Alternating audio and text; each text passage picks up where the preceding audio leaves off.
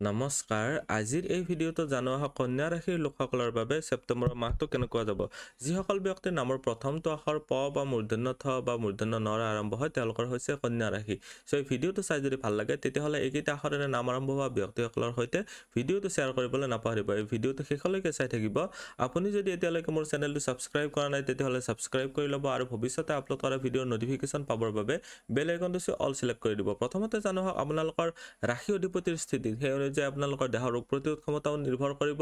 আপোনালোকৰ ৰাশিৰ অধিপতি আপোনালোকৰ ৰাশিতে ইয়াতে ভদ্ৰ পঞ্চম মহাপুৰুষ যুগৰ সৃষ্টি কৰি আছে। এটা অতিশয় বলি অৱস্থাত আছে। ইয়াৰ ওপৰত বৃহস্পতিৰো দৃষ্টি আছে। চ' বৰ্তমান সময়ছোৱাত আপোনালোকৰ সুস্বাস্থ্য নিশ্চয় বৰ্তাই বজাই ৰাখিবলৈ পাৰিব। অলপ চকুৰ কমপ্লেইন কেৱল আহিব পাৰে। আপোনালোকৰ ৰবি গ্ৰহটোৰ ইয়াতে দ্বাদশ ঘৰত স্থিতিৰ কাৰণে আৰু আপোনালোকে অলপ পানী বেছিকৈ খাব। বাকী কোনো প্ৰব্লেম আপোনালোকৰ হ'ব নালাগে। বৰ্তমান সময়ছোৱাত অলপ বিষজনিত যিবিলাক বেমাৰ আছে আপোনালোকৰ যদি আগৰ পৰাই ভুগি আছে তেতিয়াহ'লে অলপ অধিক সাৱধান হ'ব লাগিব। পেটৰ কমপ্লেইন অলপ আহিব পাৰে অলপ বদ হজমে দেখা দিব পাৰে। খোৱা লোৱা বস্তুৰ ক্ষেত্ৰত অধিক সাৱধান হ'ব লাগিব। আৰু বেলেগ প্ৰব্লেম আপোনালোকৰ নহয়। চ' এতিয়া যদি চাওঁ আপোনালোকৰ ধন টকা পইচা ছেভিংছ বা ইনকামৰ ক্ষেত্ৰত কেনেকুৱা হ'ব? আপোনালোকৰ ছেভিংছ বা আপোনালোকৰ ধনস্থানৰ ৰুলাৰ হৈছে শুক্ৰ গ্ৰহটো আৰু ইয়াতে কেতু গ্ৰহটোৰ স্থিতি গোটেইটো মাহে থাকিব। শুক্ৰ গ্ৰহটোৰ স্থিতি বৰ্তমান সময়ছোৱাত দ্বাদশস্থ হৈ আছে আৰু চৌব্বিছ তাৰিখলৈকে যিহেতু ব্যয়ৰ ঘৰত আছে এইখিনি সময়ছোৱাত আপোনালোকৰ ধনৰ ক্ষেত্ৰত অলপ অৱনমিত হ'ব পাৰে।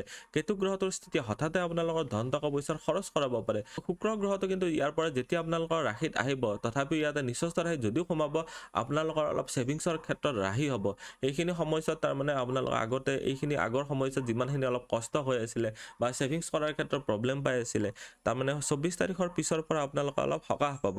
কিন্তু ছেভিংছৰ ক্ষেত্ৰত বৃদ্ধি কৰাৰ ক্ষেত্ৰত খৰচটোহে অলপ কমিব কিন্তু বৃদ্ধি কৰাৰ ক্ষেত্ৰত তথাপিও অলপ প্ৰব্লেম ফেচ কৰি থাকিব লগত পৰিব পাৰে। আপোনালোকৰ ইনকামৰ ক্ষেত্ৰত যদি চাওঁ ইনকামৰ ঘৰত আপোনালোকে দেখিবলৈ পাৰিছে যে শনি গ্ৰহটোৰ দৃষ্টি আছে বৃহস্পতি গ্ৰহটোৰ দৃষ্টি আছে।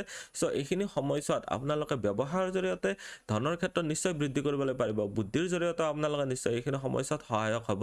বৰ্তমান সময়ছোৱাত আপোনালোকৰ ইনকাম বা আপোনালোকৰ ইচ্ছাপূৰ্তিৰ ক্ষেত্ৰত ভালেই দেখা গৈছে কেৱল আপোনালোকে অলপ সাৱধানে আগবাঢ়িব লাগিব। ইনকামৰ ক্ষেত্ৰত যিকোনো ধৰি লওক অনৈতিক কামত লিপ্ত নহ'ব অন্য প্ৰব্লেম নাই। আপোনালোকৰ ক্ষেত্ৰত যদি এতিয়া কৰ্মস্থানৰ ক্ষেত্ৰত চাওঁ কৰ্মস্থানৰ অধিপতি বুধ গ্ৰহটো যিহেতু বৰ্তমান ইয়াতে ভদ্ৰপঞ্চ মহাপুৰুষোগ বনাই আছে। চ' বুধৰ ৰিলেটেড যিবিলাক ক্ষেত্ৰ আৰু বৃহস্পতি ৰিলেটেড ক্ষেত্ৰতো আপোনালোকৰ ভাল আছে কাৰণ বৃহস্পতিও ইয়াতে আপোনালোকৰ ইনকামৰ ক্ষেত্ৰত দৃষ্টি দি আছে। চ' মুঠতে কৈ দিছোঁ যে শিক্ষকতা জ্যোতিষ লিখক পত্ৰকাৰিতা কিতাপ কাগজৰ ব্যৱসায় একাউণ্টেণ্ট কম্পিউটাৰ ৰিলেটেড কাম এডিটৰ ভ্ৰমণ সম্বন্ধীয় ক্ষেত্ৰ অন্যথা আপোনালোকৰ আছে আৰু ন্যায়ালয় ৰিলেটেড কাম টকা পইচা মেনেজাৰ এছিষ্টেণ্ট সূতৰ ব্যৱসায় ফল তৰকাৰী ব্যৱসায় পণ্ডিত ৰাজনীতিক মনোবিজ্ঞানী মানৱ উন্নয়ন ৰিলেটেড ক্ষেত্ৰত যদি জড়িত হৈ আছে চ' এইখিনি সময়ছোৱাত আপোনালোক অধিক সুফল লাভ কৰিবলৈ পাৰিব। বৰ্তমান সময়ছোৱাত নতুন কৰ্মপ্ৰাপ্তিৰ যোগ বনাইছে আপোনালোকৰ কৰ্মস্থানৰ ক্ষেত্ৰতো এইখিনি সময়ছোৱাত নিশ্চয় ভাল ফল লাভ কৰিবলৈ পাৰিব। তাৰপিছত এতিয়া যদি চাওঁ আপোনালোকৰ ভাগ্য পিতা ধৰ্ম বা গুৰুজনৰ ক্ষেত্ৰত মংগল গ্ৰহটো ইয়াতে আছে। আৰু ইয়াৰে ৰাশিৰ অধিপতি ইয়াৰ পৰা দ্বাদশস্থ হৈ আছে। মংগল গ্ৰহটো আপোনালোকৰ পিতা বা ধৰ্মস্থানত থকাৰ কাৰণে গুৰুজনৰ স্থানত থকাৰ কাৰণে এইখিনি সময়ছোৱাত গুৰুজনা আৰু পিতাৰ ক্ষেত্ৰত আপোনালোকৰ অলপ মনোমালিন্যৰ সৃষ্টি হ'ব পাৰে অলপ অস্থিৰতাই দেখা দিব পাৰে। এইখিনি সময়ছোৱাত আপোনালোকৰ নিজৰ মানে সন্মানৰ সহকাৰে তেওঁলোকৰ সৈতে ভাল এটা ৰিলেশ্যন মেইনটেইন কৰিবলৈ আপোনালোকে চেষ্টা কৰিবলৈ লাগিব। বৰ্তমান সময়ছোৱাত শুক্ৰ গ্ৰহটো দ্বাদশস্থ হৈ থকালৈকে আপোনালোকৰ ভাগ্যৰ ছাপৰ্টৰ ক্ষেত্ৰতো অলপ প্ৰব্লেম দেখা গৈছে। আপোনালোকে কিবা যদি চাকৰি বাকৰি পাব বিচাৰি আছে আপোনালোকে নিজস্বভাৱে বিচাৰিব লাগিব। তেতিয়াহে আপোনালোকে ভাল ফল লাভ কৰিবলৈ পাৰিব। তাৰপিছত এতিয়া যদি চাওঁ প্ৰেম প্ৰসংগ বা বিবাহৰ ক্ষেত্ৰত আপোনালোকৰ প্ৰেমৰ স্থানৰ অধিপতি প্ৰেমৰ স্থানতে আছে বক্ৰী অৱস্থাত আছে। আপোনালোকৰ প্ৰেমিক বা প্ৰেমিকাৰ সৈতে অলপ মতভেদৰ সৃষ্টি হ'ব পাৰে কিন্তু বিবাহৰ ক্ষেত্ৰত যথেষ্ট ভাল। বিবাহৰ স্থানৰ অধিপতি বিবাহৰ স্থানতে আছে আৰু শনি গ্ৰহটোৰো তৃতীয় দৃষ্টি ইয়াতে বৃহস্পতিৰ ওপৰত আছে। অলপ ধৈৰ্য ধৰিলে হ'ল দুটা গ্ৰহ বক্ৰী অৱস্থাত আছে অলপ মানে মনোমালিন্য হ'ব পাৰে। যিসকল বিবাহিত আছে তেওঁলোকৰ ক্ষেত্ৰতো অলপ প্ৰব্লেমেটিক হ'ব পাৰে। বিশেষভাৱে ছোৱালীসকলৰ বাবে ইয়াতে অলপ মানে প্ৰব্লেমেটিক হ'ব পাৰে যিসকলে বিবাহৰ ক্ষেত্ৰত আগবাঢ়িবলৈ খুজি আছে। চ' নিজৰ জন্মচক্ৰ অনুযায়ী কিছুমান প্ৰতিকাৰ কৰিব লাগিব। অন্যথা আপোনালোকে অলপ প্ৰব্লেম ফেচ অধিক কৰিবলগীয়া পৰিব পাৰে। বৰ্তমান সময়ছোৱাত বিবাহৰ ক্ষেত্ৰত আগবাঢ়িব পাৰে কিন্তু কিছুমান প্ৰিকশ্যন বা প্ৰতিকাৰ ল'ব লাগিব।